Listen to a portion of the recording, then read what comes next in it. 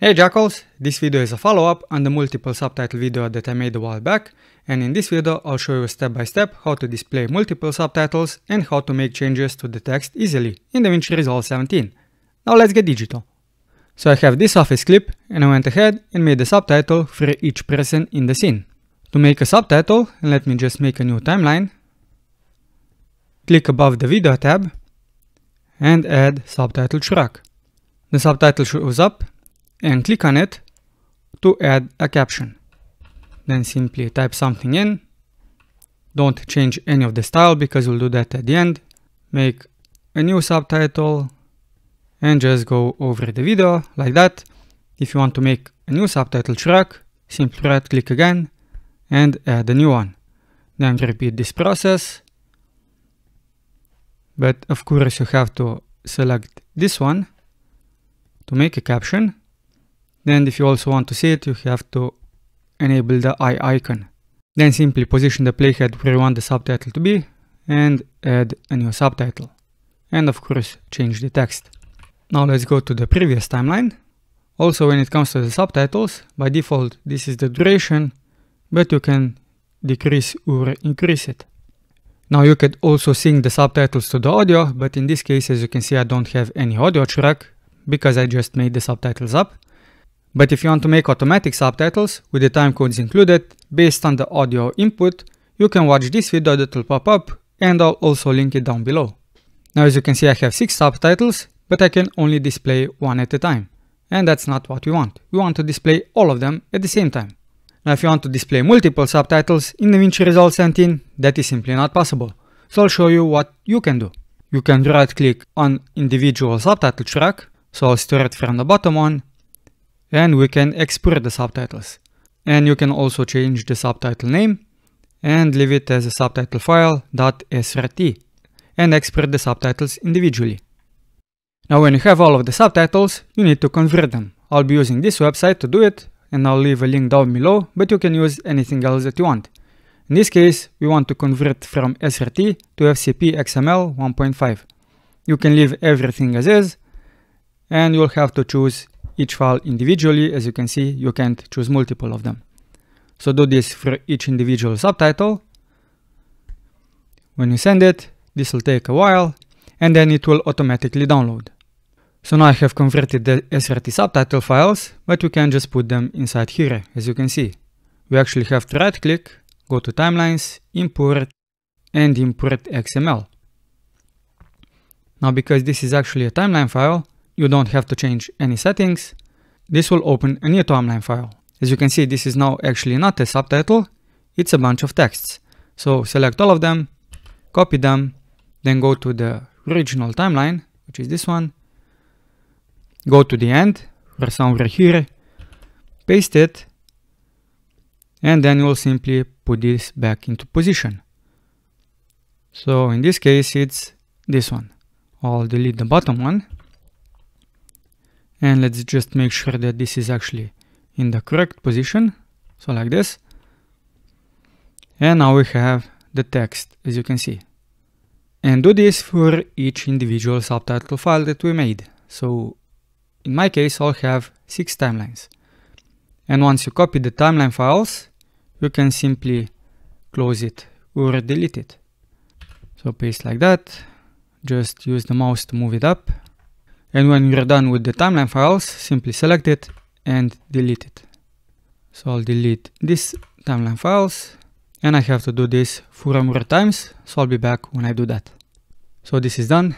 I can now simply delete the timelines on the subtitles like that. I can also disable all of the subtitle tracks and I could even delete them because I've put everything in position as it was in the original.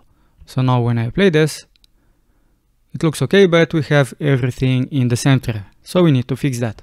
So I'll disable all of the subtitles except for one, so that I only see one of them at a time. So this text is for this person here, and how you can change the text is, well, select it individually, make the changes, or if you want, you can make multiple selections in the same row, or if you know that the style will be the same for each person, you can actually select all of them.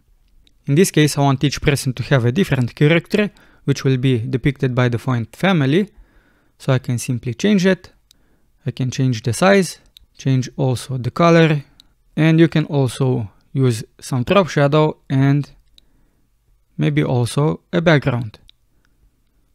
And now as you'll see, because I've selected all of the texts, this style will apply to all of the selected texts. If I select only one of them and make a change, this change will only apply to this text, as you can see. Now what we can do individually is to adjust the position. So in this case, I'll just select this one, go to settings and adjust the position. And once you have a position that looks good, you can now simply select this one again, hit Ctrl C to copy it and select all of the other ones, hit Alt V and now we'll paste in the attributes and select position. But this only works for the transform. It doesn't work if you want to change the style. So you do need to change the style like this by selecting all of the texts. And as you can see now position is the same as the one that I've specified for the individual node. So let's quickly make this one. So maybe the second one will look like this and I don't even have to change the position. And let me just quickly do this one. So this guy is a consultant, so I'll choose a Consolas font. So this guy should be yellow because he's jealous. We can also split up the lines like this. Now in the subtitles, as you can see, I've split the text and this change is saved when you convert the file and import the timeline as a text. So I didn't have to split this text again. Now all you have to do is change the position. Like I've shown before, you can select individual one and then copy it over, select all of them and adjust them but this will be static. But what if you want to position the subtitles to an object? Well, let me quickly show you how to do that. Select all of the subtitles for each individual person, right click and select new compound clip. Give it a name, person 2, and I'll show you also with this one, this one will be person 3. Then when you have that, select all of the compound clips that we made and do original file. Right click and select new fusion composition and then simply go into the Fusion page. Now as you can see we have three media ins, so this is the video that we need. This is, is it the subtitles? Let's see. So this is not the subtitle. So I don't know why this media in was created, so we can simply delete it. So the media one is this, and what we want to do is track the movement of the people that we want to connect this to. So this is the person on the left, it's this one, and this is the text for, for this one. So these are the two people that I'll be tracking. So select original footage, press Ctrl space, type in track and select this tracker. It will be connected here. A window opens up. In this case, I'll track this person and I'll also adjust this window. This window just means where this window can move. I'll just do this quickly and I'll leave a link that explains tracking better. So this is one position. If you have multiple trackings to be done, in this case, I would actually have 6 trackers, but in this case I've just done 2. So simply select add and the second tracker I'll position it somewhere here. Because I'm tracking the back of the head, I'll first see how this actually looks like.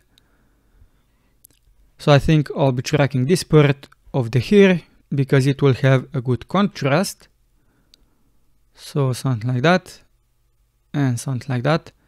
So hopefully it won't jump outside. Then select the channels that gives you the best result for the contrast between black and white. So in this case, maybe the blue channel, and in this case, maybe the red channel gives me the best result. Then go to the beginning and simply track forward. This will take some time. When you do the tracking, you can also disable all of the other media ins. So this tracking is good, but we lost it here. Overall, I think the tracking is okay. When you have the tracking done, you can simply disconnect it, but don't delete it. So now we need to put these two tracking informations. As you can see, we have to pass. And we need to connect those to the texts. To do that, simply use the transform node. So let's see, the first text is which one? So it's this person and we need to connect this one to tracker 1, as you can see. So go to the transfer node right click on center, connect to, tracker 1, tracker 1 path. And the second one will be path 2. Now if you show this, let's see how it looks like. Guess it's okay. But if you want to position it a little bit, you won't be changing anything in the transfer nodes.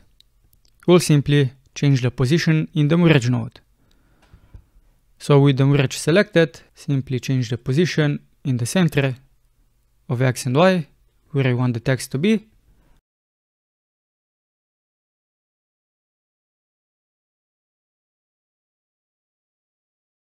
And that's basically done, that's how I can glue the text. But how steady the text will be will depend on how smooth the tracking was. And that's basically it, that's how I can display multiple subtitles at the same time in DaVinci Resolve 17. All that you have to do is to export the video. And I'll do the same for this text so that you can actually see the intro. If you found this video helpful, do all the call to actions that you see. I'm Simon, until next time jackals, keep it digital.